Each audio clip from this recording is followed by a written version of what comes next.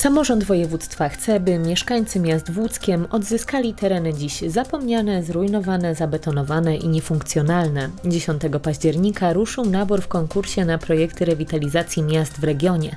Dotacje dostaną projekty dotyczące odnowy terenów obecnie zdegradowanych, m.in. zniszczonych wielorodzinnych budynków, zaniedbanych parków i skwerów. Nabór już ruszył i potrwa do końca 2025 roku.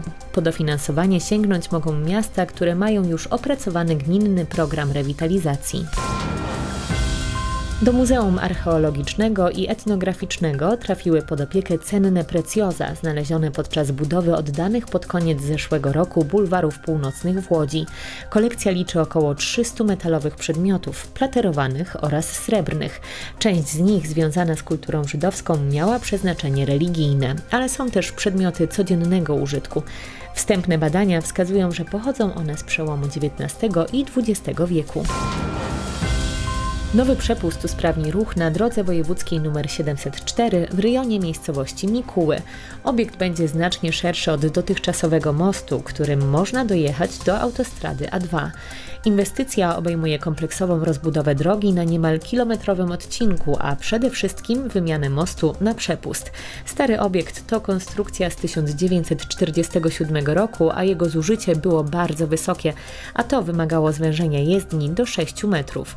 Nowy przepust będzie miał długość 16 metrów, a jego nośność wyniesie 50 ton. Rozbiórka mostu rozpocznie się wiosną przyszłego roku. Aktualnie trwają prace nad wymianą konstrukcji jezdni prowadzącej do przepustu.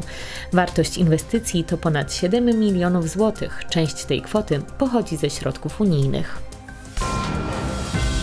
101 młodzieżowych drużyn pożarniczych otrzyma w sumie milion złotych dotacji. Pieniądze zostaną przeznaczone m.in. na zakup umundurowania lub sprzętu treningowego oraz wyjazdy.